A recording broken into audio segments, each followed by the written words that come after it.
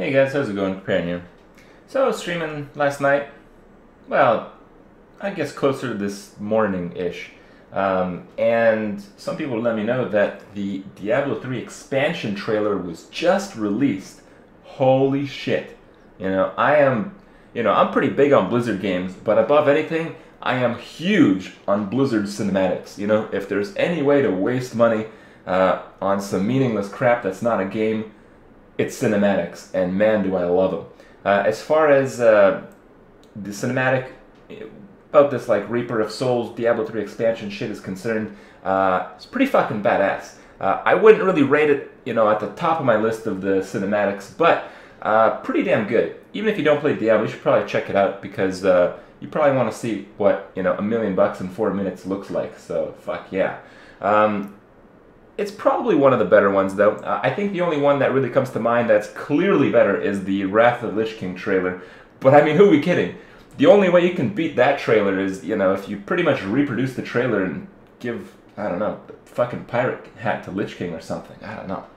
So, as far as the gameplay is concerned, there is another trailer that goes into uh, some of the features of the, the, the, big thing. Apparently, the big thing the expansion is going to add another class, and the other class is uh, Crusader or something basically it's a monk. I mean, if you like to play monk and uh, you don't want to be a monk, you can play a crusader. So that's pretty much it. I thought that was pretty meh, but uh, whatever. I probably wasn't going to play anything else but Barb anyway, so fuck it. But there isn't too much that's released about the game. There are some things in regards to items and stuff like that that they posted on Diablo fans, and I'm sure that's the bulk of the information that's out there. And I have some sentiments. Uh, I'll give you guys my impression uh, you know that I had last night when I was first looking at this stuff. I thought it was pretty amusing.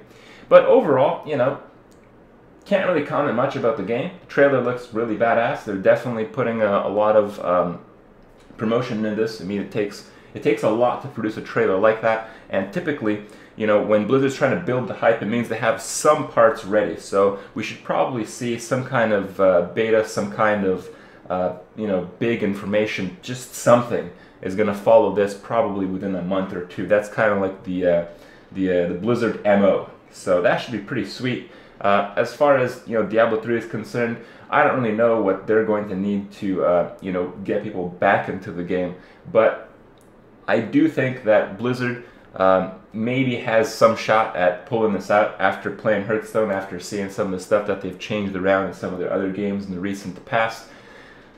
It's looking all right. I think while it'll probably be a, you know some kind of uh, type of expansion that's going to make them a lot of money intentionally.